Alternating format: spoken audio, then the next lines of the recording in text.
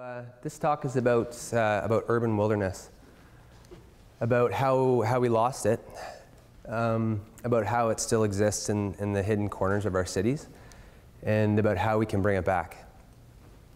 So when we, when we think about urban wilderness, the first thing that uh, really jumps to mind is the trees, and when we look around, uh, it's easy to appreciate that trees are the, the main source of habitat for most of the biodiversity we have in our cities. And the biodiversity is the stuff that produces the ecosystem services that we all benefit from.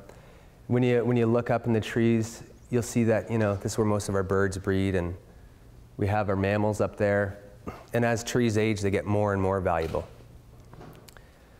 And these ecosystem services that they produce are really, when you stop to think about it, so much of what, what, what we do every day is, is a result of the biodiversity that's producing these things. Even, even in cities, we have uh, you know, uh, cooling of temperatures, and we have all these, uh, you know, the foods we eat, and then we have all these little services that sometimes we forget about, the pollination, and uh, biocontrols are really neat when there's billions of these little microscopic wasps all up in the forest, and they're the main source of insect outbreak control. And then just the, the nature that we all find so enriching. So this is the kind of stuff we, we want to have more of. And so now when we see new, new designs for city designs and stuff, you, the first thing that you'll see is like half the image is green, right? And, and it really jumps out at you because we, we want to bring this back. And so before we talk about you know, how we can kind of bring it back, it's, it's neat to think about how we lost it. Like we know there was tons, there always used to be bigger fish and bigger trees and everything. And we know that before there were cities, there was usually forests and we had to clear these things. And we'd keep, uh, we'd keep some trees around. And then even the trees that you know were remaining, a lot of these got hammered by these massive insect outbreaks. And this is a, a famous elm, and you can see the people up in the treetops that they go up there once a year and uh, you know hand pick off all the all the insects. And partially because of these insect outbreaks and, uh, and what we did when we replanted trees, we wanted trees that didn't have pests, right? So we went to Europe, we went to Asia, and we picked these trees that looked really cool because no one had seen a these trees before, but one of the main things about them is they, they didn't have biodiversity on them. They're really easy to maintain, nothing ate the leaves, there was no pests.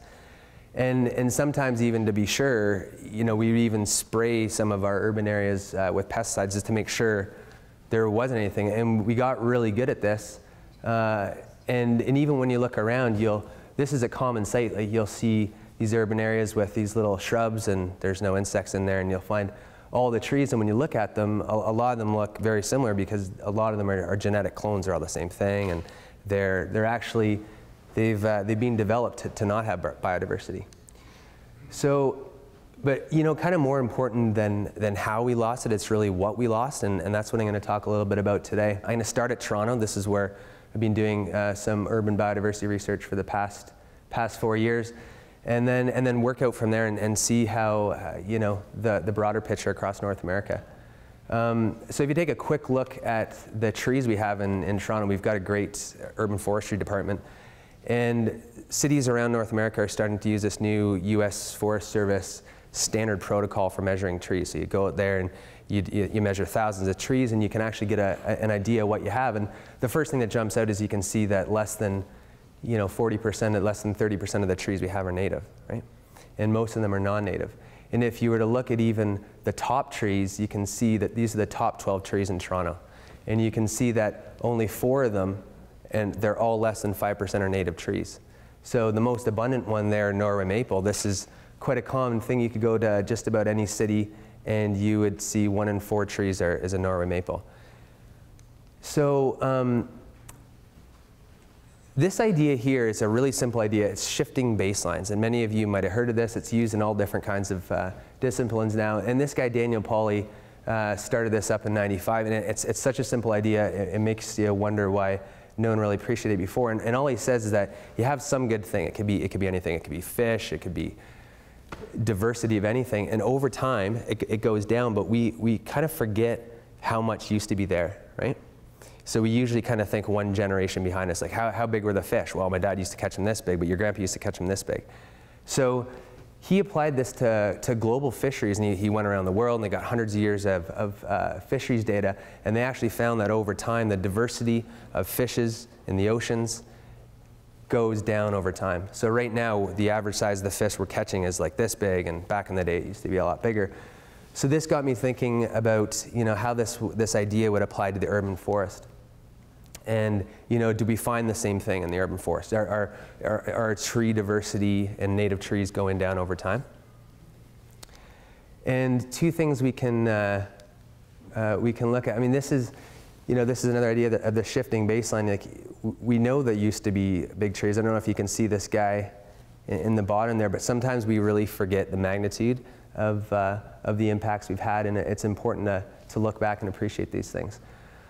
This is just one of the few examples I can find, uh, recent examples with trees, and this is in, in California, and they asked kind of, well, how many oaks do they have there? And if you look in like 2010, there's 112 trees, and then a half a century ago, there was only 313. So if you were just kind of like, well, how many trees are there? You know, we have, we've maybe only lost half, but if you look back up to, you know, the mid 1800s, there were 74,000 of them around, right?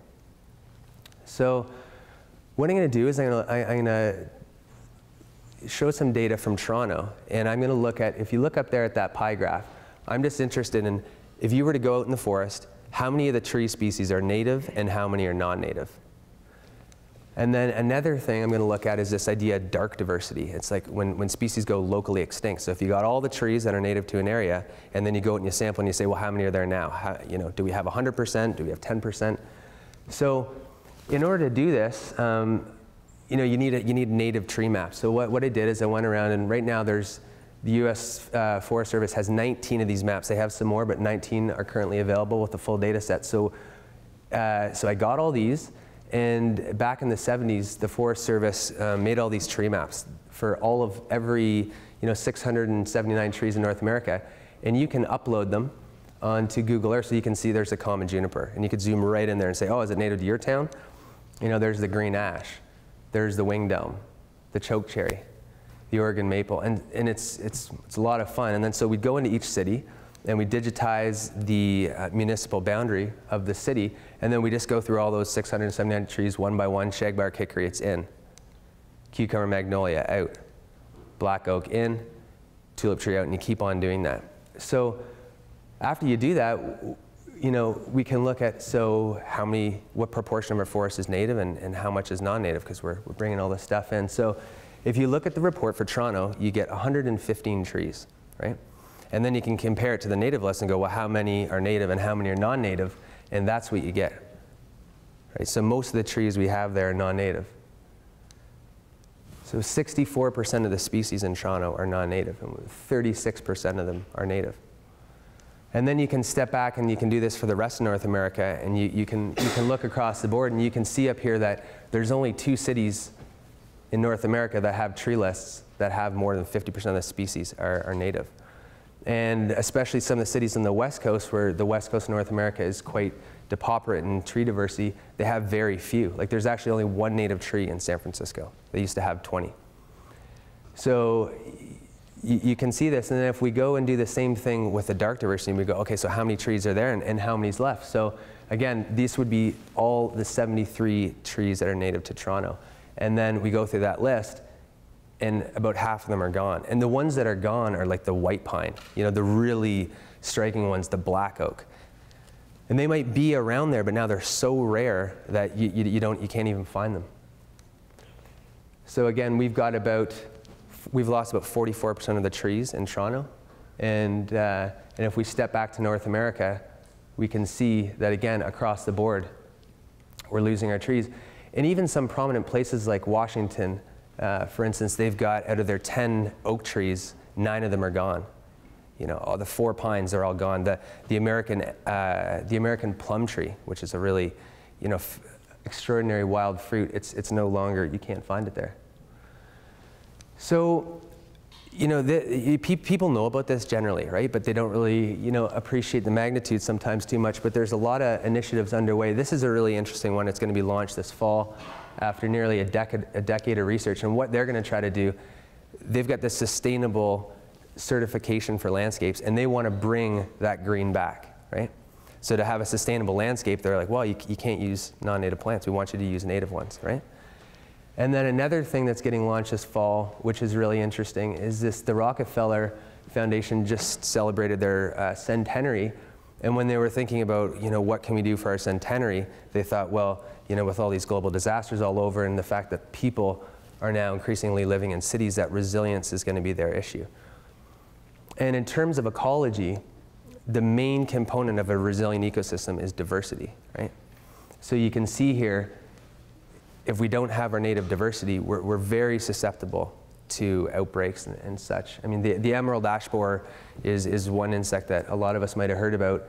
Uh, it was introduced in Detroit in, in the early 2000s, and there's uh, about 8 billion ash trees in North America, and they think they could all be wiped out in the next, you know, couple decades. So by bringing this stuff back, we're going to get our resilience back.